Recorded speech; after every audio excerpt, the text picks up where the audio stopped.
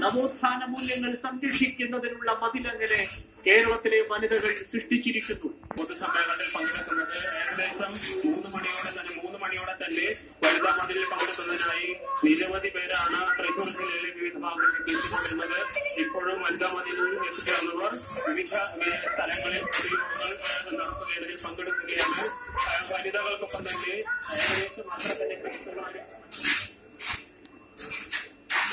ശ്രമിക്കുന്ന ശക്തികൾ പതിയിരിപ്പുണ്ടെന്ന് നമുക്ക് മനസ്സിലായതിന്റെ ഭാഗമായിട്ടാണ് നവോത്ഥാന ആശയങ്ങൾ മുന്നോട്ട് കൊണ്ടുപോകാൻ ഇങ്ങനെയൊരു മതിൽ തീർക്കുന്നതിന് നന്ദി. കാസർഗോഡ് വനിതാ മതിൽ ആദ്യമായി തത്സമയം സ്ക്രീനിൽ കണ്ടുകൊണ്ടിരിക്കുന്നത്.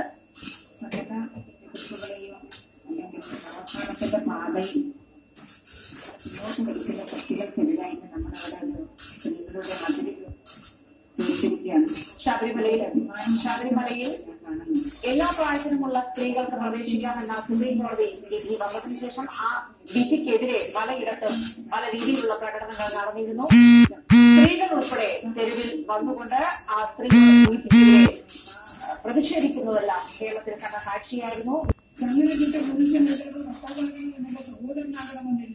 ഏതെങ്കിലും ഒരു അടിമയെ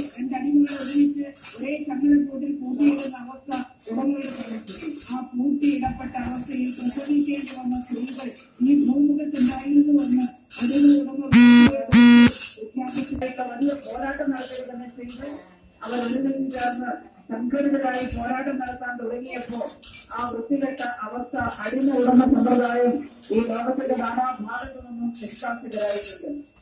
അങ്ങനെയാണ് സ്ത്രീ പുരുഷനും ഗതാഗത സംവിധാനങ്ങൾ താറുമാറാവുകയോ അങ്ങനെ സാരമായി ബാധിക്കുന്ന തരത്തിലുള്ളതായിരുന്നു ഈ മതിൽ. അങ്ങനെ എന്തെങ്കിലും ബുദ്ധിമുട്ടുണ്ടായിരുന്നു?